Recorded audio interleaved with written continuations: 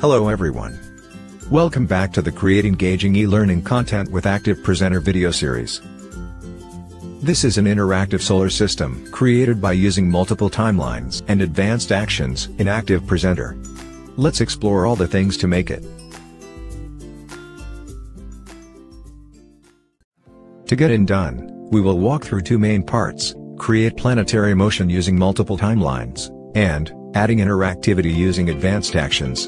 Now, let's start this video with part 1. First of all, you have to add all the planet images, to this universal background image.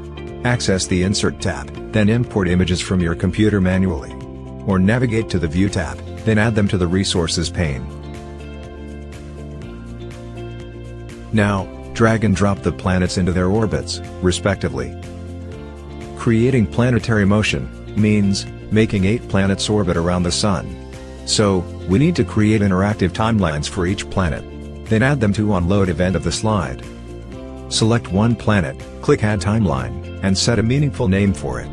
Here, I name it Mercury. Next, adding a motion path to create the planet's orbit. You are free to adjust it, to make it smooth as you want.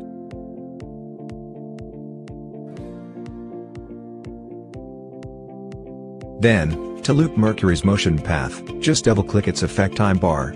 In the pop-up dialog, you can specify the start time and duration to fit its moving speed. For example, Mercury is the Sun's closest planet. Therefore, it takes the shortest looping duration. Don't forget to select Repeat until end of slide, to make Mercury orbit around the Sun continuously. Now, you are in the Mercury timeline. Let's go back to the main timeline and do the same steps with other planets. The further away from the Sun they are, the slower the planet's orbital speed, and the longer their path. So, you should set the other planet's looping duration, longer than Mercury's.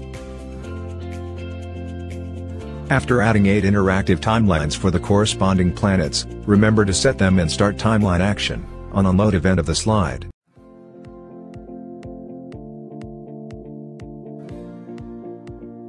Then, deselect the blocking box.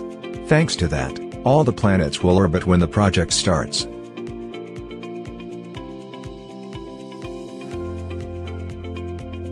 Here's what we got. In the next video, we'll guide you how to create interactivity with planets information. So, stay tuned. See you.